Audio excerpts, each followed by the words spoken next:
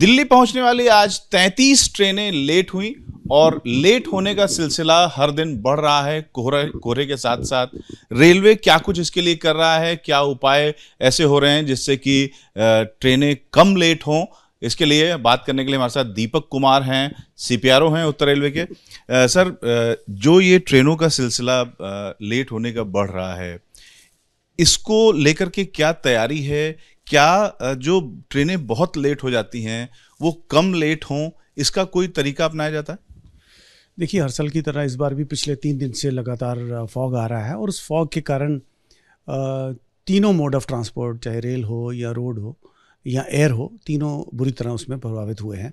आज जैसे आपने शुरुआत में कहा कि करीब तीस से ज़्यादा ट्रेन हमारी दिल्ली और दिल्ली से निकलने वाली ट्रेनें आज लेट हुई हैं। इसके लिए बहुत से तरीके हम लोग अपनाते हैं। जैसे जैसे फॉग आता है, फॉग से आने से पहले ही बहुत से फॉग रिलेटेड जो प्रिकॉशंस है हम लोग लेते हैं।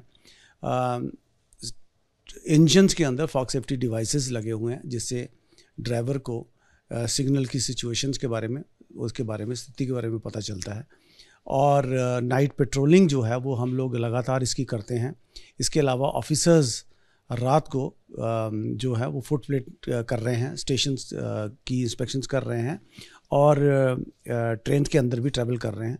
तो ये सारी चीज़ें हैं तमाम तरह के तरीके हैं जिसके कारण हम लोग इंश्योर करते हैं कि ट्रेन में जितनी भी लेट हो रही हैं उसको कम से कम किया जा सके। कोहरे के कारण दुर्घटनाओं की भी आशंका बनी रहती?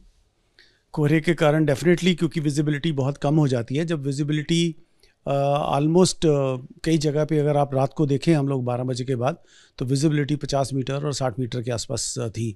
तो उस केस में ये दुर्घटना होने का भी डर रहता लेकिन ट्रेन में ये सिचुएशन नहीं होती।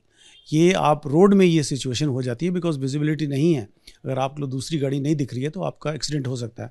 बट ट्रेन में ऐसी सिचुएशन नहीं होती। जो आने वाले समय में अगर कोहरा कोहरा बढ़ता है तो ट्रेनें और ज़्यादा लेट होती जाएँगी। क्या अनुमान है कि इन ट्रेनों को बहुत ज़्यादा लेट, न सोलह सोलह घंटे ट्रेनें लेट हो जाती हैं? क्या कुछ ट्रेनों का समय कम किया जा सकता है लेट होने का? उसका कोई तरीका होता है? नहीं, इनका एक हम लोग पहले ही ट्रेन के फॉग आने से पहले भी हम लोग इस तरह से एनालिसिस करते हैं कि कुछ ट्रेनों की हम लोग जो है, वो फ्रीक्वेंसी कम करते हैं।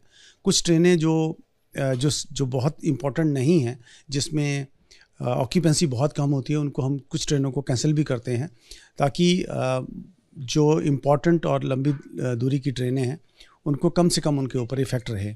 आ, मुझे नहीं लगता कि 16 घंटे लेट वाली ट्रेन को आज कोई है ऐसा तो नहीं, नहीं आज नहीं है लेकिन हर साल होती है इसलिए बात कर। हाँ नहीं अभी वो सिचुएशन नहीं होती वो पहले हुआ करती अभी कितनी मैक्सिमम लेट हो रही है आज मेरी दो घंटे से ज़्यादा दो घंटे कोई ट्रेन है कोई डेढ़ घंटे है कोई ढाई घंटे ट्रेन है इस तरह से तो बहुत ज़्यादा ट्रेन नहीं है जो चार घंटे से ज़्यादा लेट हो। इन पूरी ये जो प्रक्रिया होती है इसमें यात्रियों को जब आप लोग डिसाइड करते हैं रेलवे डिसाइड करती है कि ट्रेन कैंसिल की जाएगी तो उसके बाद सवार यात्रियों को किस तरीके से सूचना दी जाती है, उनकी क्या व्यवस्था की जाती है? देखिए, कुछ ट्रेनें ऐसी हैं जिनको हम लोग कुछ समय के लिए कैंसिल करते हैं। अगर एक रूट के ऊपर 10 से 12 ट्रेन चल रही हैं तो उसमें जो दो अनइम्पॉर्टेंट ट्रेन हैं, उनको कई बार हम लोग कैंसिल कर देते हैं ताकि बाकी ट्रेन को बहुत ज़्यादा डिले ना होना पड़े।